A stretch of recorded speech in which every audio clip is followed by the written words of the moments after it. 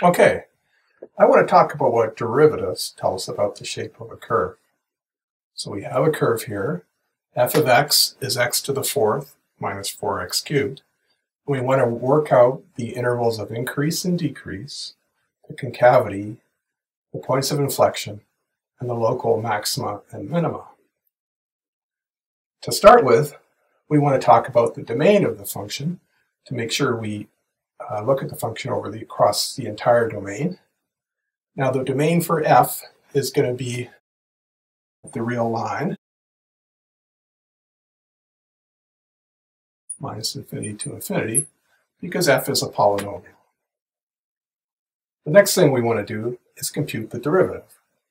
And so the derivative f prime of x is 4 x cubed minus 12 x squared.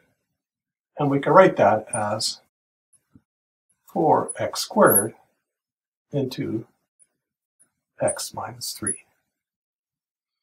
If we want to figure out when the function is increasing or decreasing, we want to determine whether f prime is positive or negative.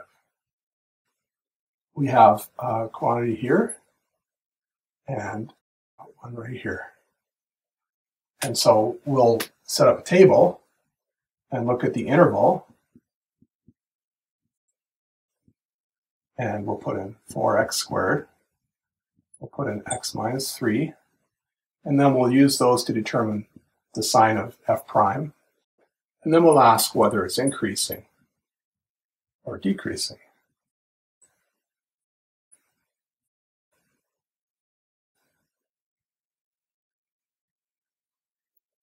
So we start the interval from minus infinity to 0. And on that interval, 4x squared is going to be positive, and uh, x minus 3 will be negative. I'll put a minus sign. And so uh, f prime will be a positive times a negative, so it'll be a negative. And so the function is decreasing. Now, on the interval 0, 3, 4x squared, again, is going to be positive. I'll just put a plus sign in there. x minus 3 is going to still be negative, and f prime is therefore going to be negative, and it's going to be decreasing. On the final interval, from 3 to infinity, 4x squared again is going to be positive. However, x minus 3 is also going to be positive, so f prime is positive, and so it's increasing. I'll just make this table a little bit bigger. Okay, so what happens at this point here is we go from decreasing to increasing. And so by the first derivative test, there is a minimum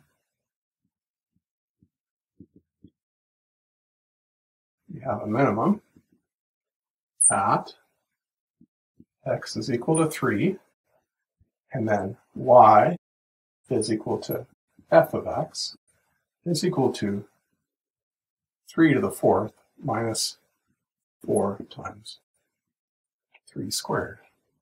And that turns out to be minus 27. Okay, what about the second derivative? We differentiate once again, and we get that f double prime of x is equal to 12x squared minus 24x. And so this is equal to 12x into x minus 2. So we're going to do the same kind of thing as we did before. And we have the interval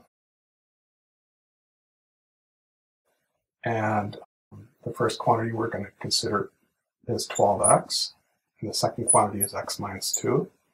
And then we're going to look at f double prime, and then we have concave up or down. Okay.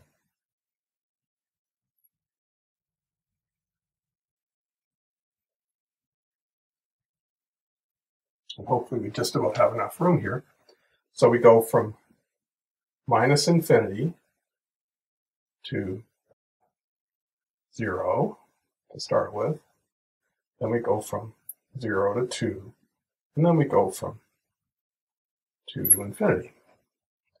So in the interval minus infinity 0, 12x is going to be negative, and uh, x minus 2 is going to be negative, so f double prime is going to be positive. And a positive second derivative is like a happy face, so it'll be concave up. On the interval 0, 2, we're going to have positive here, negative here, so this is. And so it's a sad face, so it's concave down. Finally, on 2 infinity, we're going to have 12x is positive, x minus 2 is also positive, and so f double prime is positive, and we're concave up. Okay, so we have a change in concavity at 0 and 2.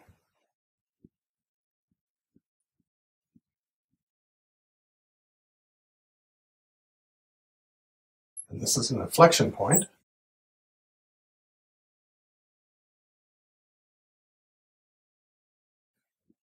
At x equals 0. So y will be equal to f of x. f of 0 is equal to 0. And at x is equal to 2. And y is f of 2.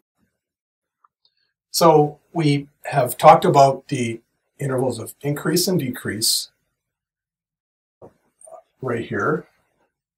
We found a minimum where we go from decrease to increase. We've talked about concavity here, and we found two inflection points. So when we put all of this together, we have a function that looks something like this. And so we're at 2 and minus 16, we have an inflection point. We're at 3 and minus 27, we have a minimum. Minus 16, minus 27. And so we also have uh, point where the uh, f prime is equal to 0 exactly when f is equal to 0. And so we're going to have a function that decreases, changes concavity here, and then comes up like this.